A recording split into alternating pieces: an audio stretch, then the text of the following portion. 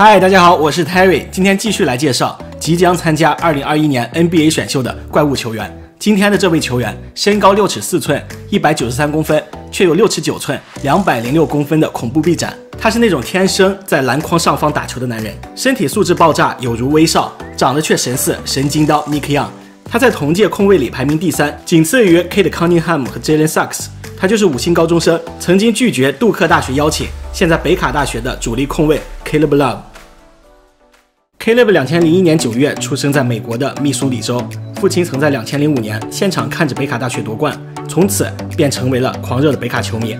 他也从小就开始带着 Caleb 打篮球，希望有一天 Caleb 可以穿上北卡球衣。Caleb 的篮球生涯在高中以前一直不温不火。他虽然有着很好的身体素质和良好的球感，但缺少一种动力去让他变成最强。直到他进入 Christian Brothers 读高中，遇到了他的伯乐 Justin Tatum。Justin Tatum 除了是 Christian Brothers High School 的主教练，还有一个身份就是 NBA 巨星 Jason Tatum 的父亲。Justin 说，Caleb 显然是那种需要有一种动力去推动他打球的人。但在我第一次看到 Caleb 时，我就觉得他非常的特别。高三赛季前，Justin 决定让一直打得分后卫的 Caleb 去改打控球后卫，因为以他的身高、体重和臂展，在控卫的位置上有最大的优势。虽然 Justin 认为 Caleb 缺少打传统控卫的耐心。但是为了更好的前景，改变是刻不容缓的。果然，进入高三赛季，改打控卫的 Caleb 迎来了爆发的一年。作为得分型控卫，场均砍到十九分、四点三篮板，带领球队拿到了分区第二。Caleb 还在一场比赛中狂轰四十二分，这也是他高中生涯最高分。他极具观赏性的打球方式吸引了无数的球迷，在 IG 上有十七万粉丝。此时，无数间低万级别大学向他伸出了橄榄枝，其中就包括北卡和杜克。K 教练更是亲临现场看他打球。等到 Caleb 高四赛季，他的表现更进一步，场均数据提高到了二十六点三分、六点五篮板、三点一助攻。赛季后，Caleb Love 被评为加德勒密苏里州最佳球员，并入选麦当劳全美最佳阵容。ESPN 也为 Caleb 挂上了五星，并排在了全美第十八，控卫第三。二四七体育更是把他排在了控卫第二名。在近乎完美的高中赛季结束后，Caleb 需要做他人生最重要的一个决定，就是选择大学。我们前文中提到过，Caleb 的父亲是北卡的狂热球迷，而在 Justin Tatum 手下打球，Caleb 其实一直最想去杜克。Jason Tatum 就是出自杜克，Justin 也认为杜克的体系最适合 Caleb。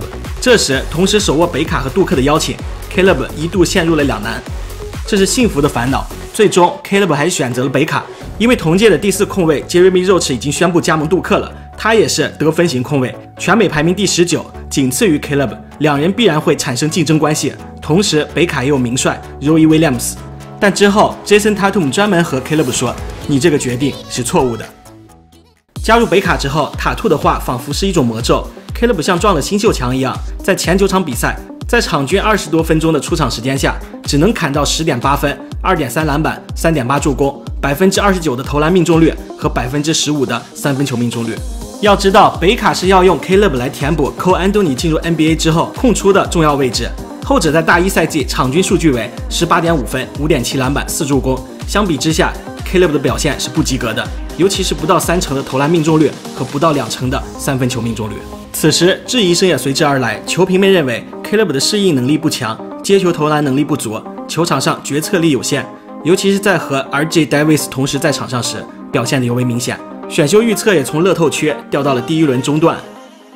虽然不太适应大学篮球的节奏，表现的也不稳定，但毕竟球商和身体素质优秀。经过调整之后，二零二一年二月七日对杜克的比赛中，Caleb 单场砍下二十五分七助攻，并拿下强敌。赛后，主帅 Roy Williams 也表示，Caleb 在自己的位置上有绝对优势，他的臂展让他在防守时压迫力十足，他的启动速度让他可以轻松的突破任何人的防守，哪怕是投篮不稳定。进攻和防守端也值得信赖，但凡经过仔细雕琢，势必前途无量。但最近的一场比赛，Caleb 的表现又有起伏，出场二十五分钟只得四分、五篮板、三助攻，拒绝了杜克的 Caleb，最终会不会在北卡打出身价？我们现在下定论还太早，但也会去想，如果他去了杜克，会不会在那个体系下把潜能发挥到极致？我同样也会持续关注 Caleb Love 的动态，及时给大家更新，期待这个能像威少一样点燃全场的年轻人。可以在选秀大会上高顺位被摘走，这就是今天的视频，我们下期再见。